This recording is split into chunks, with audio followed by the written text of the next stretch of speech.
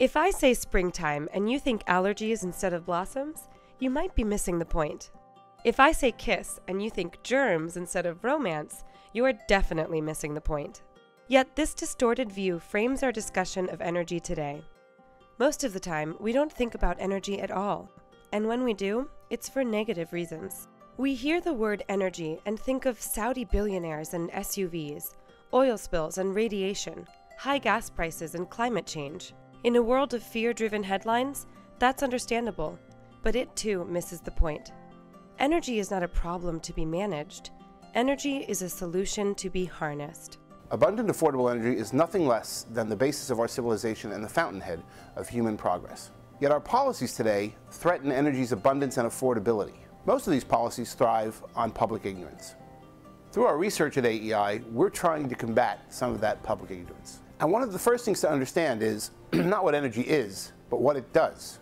Energy is the, literally the fuel of human flourishing.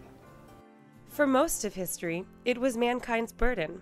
From dawn till dusk, most human energy was spent obtaining energy in the form of food and fire. Today, it is mankind's blessing. Energy reduces human drudgery. Energy frees time for study, worship, and play. Energy extends our days and softens the harsh edges of hot summers and cold winters. Energy increases human mobility, opportunity, and wealth while reducing the threat of disease. And it's not just when you flip the switch or hit the gas. When you sit down for a meal, you're consuming energy.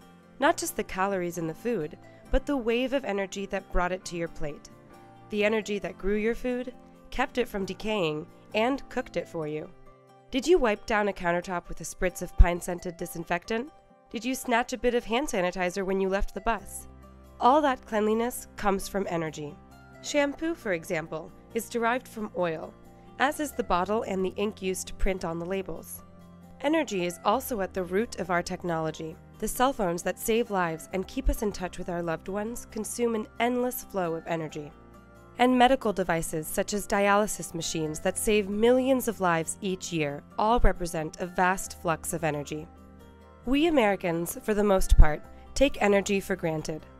We might grouse at the cost, but we're pretty confident that when we flip a switch or turn a valve, the energy will flow. But that's not true in much of the world. In the developing world, billions live in dire energy poverty, with not even enough power to run a single light bulb. Even in developed countries such as the United Kingdom and the United States, many people on fixed incomes, such as senior citizens and pensioners, face a hard choice between heating their homes in the winter or eating. That's a choice no one should have to make. And no one would if we got smarter about our energy policies. Get the facts and get the point. Follow AEI's video series on energy literacy and learn more by going to aei.org.